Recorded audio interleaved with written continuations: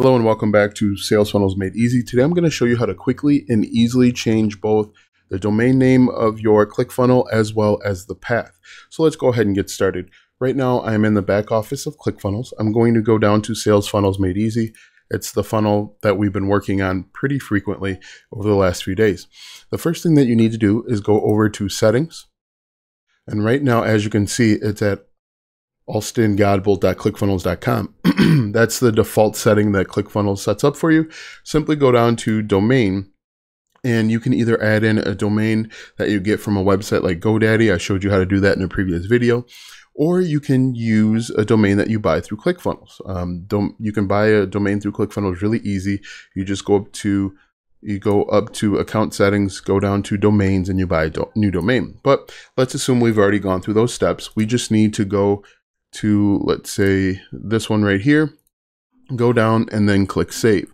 What I want to do, in addition, is to change the path. So the path is everything that happens after the forward slash. Right now, this funnel would go to, this opt-in page would go to digitalunemployee.com forward slash Facebook hyphen test, so on, so on, so on.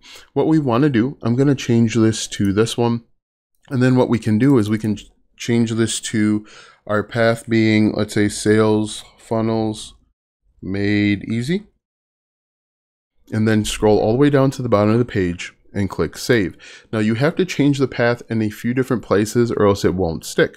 So if we go over to opt-in here and we click on this link here to show you, it has this long URL at the very top. This isn't what we want. So if we go over here, we can click this little gear icon and we can change this path also. So what we can do is we could say sales funnels made easy one. And then we can click update funnel step.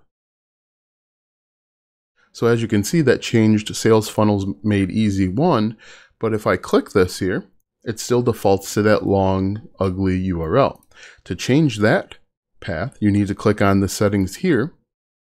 And then we can say, let's change this to sales funnels made easy two. Now you have to give these different path names or else you're going to run into some little error there. Um, for example, if I just leave this at one, we'll show you what happens. I click update. And then when I click this button again, you can see it defaulted to sales funnels made easy and then that long string of numbers. That's not what we want. We want a different path name. So we could go sales funnels made easy. We're going to give this a number two and we're going to click update page again. And then when we click on this one more time, you can see sales funnel made easy two. So what we've done in this video, we have changed in the settings. We've changed the domain name. So the everything from the www dot your domain .com or dot .org or .biz, whatever that is. And then we change the forward slash or the path, everything after the forward slash or the path. So in this one, it's sales funnels made easy. We changed it there. And then when you go into the opt-in page, we had to change the path that people can type in to sales funnels made easy one. And then, and you did that by pressing that settings thing. And then again, if you want to change the actual path of the web page, you have to click on the settings icon here too. And this is where we put sales funnels made easy two. And then when you click on it, everything works just like we expected to. What you will need to do is you'll need to go through and change the gear here and down here in order to get the actual domain names that you want, or else they're going to default to whatever letters and numbers that Click ClickFunnels assigns to them. So hopefully this made sense. Be sure to like, comment, subscribe, ring the bell notification so that you're notified when I upload a brand new video.